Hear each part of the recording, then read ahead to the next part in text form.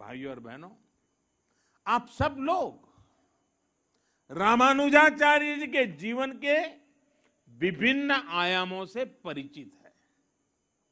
वो समाज को सही दिशा देने के लिए अध्यात्म के संदेशों का भी प्रयोग करते थे और व्यावहारिक जीवन का भी।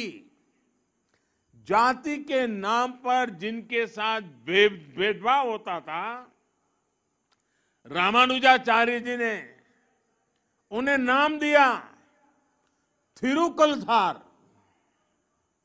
यानी लक्ष्मी जी के कुल में जन्म लेने वाला श्री कुल या देवीय जन। वो स्नान करके आते समय अपने शिष्य धनुर्दास के कंधे पर हाथ रखकर आते थे।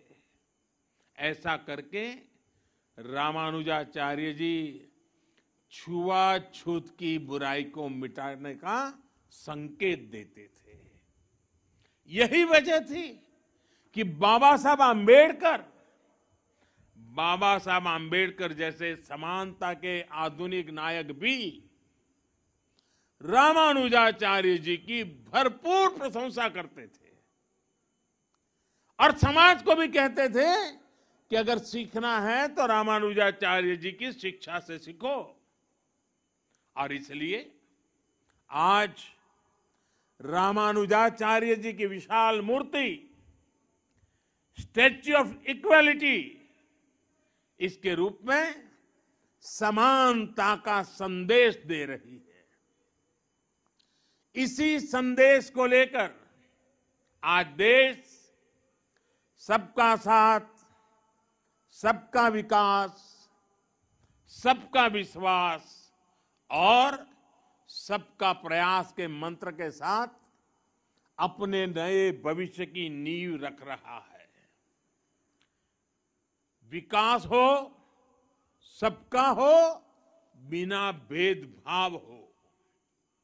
सामाजिक न्याय सबको मिले, बिना भेदभाव मिले।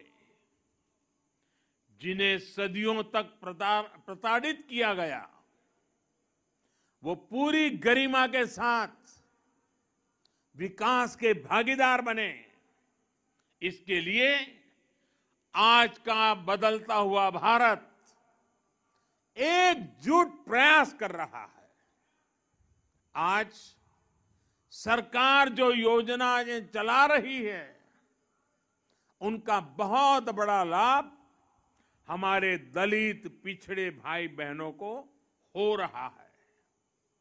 चाहे पक्के घर देना हो या फिर उज्ज्वला का मुफ़्त कनेक्शन, गैस कनेक्शन, चाहे पाँच लाख रुपए तक मुफ़्त इलाज की सुविधा हो या फिर बिजली का मुफ़्त कनेक्शन, चाहे जनधन बैंक खाते खोलना हो या फिर स्वच्छ भारत अभियान के तहत करोड़ों शौचालयों का निर्माण करना हो।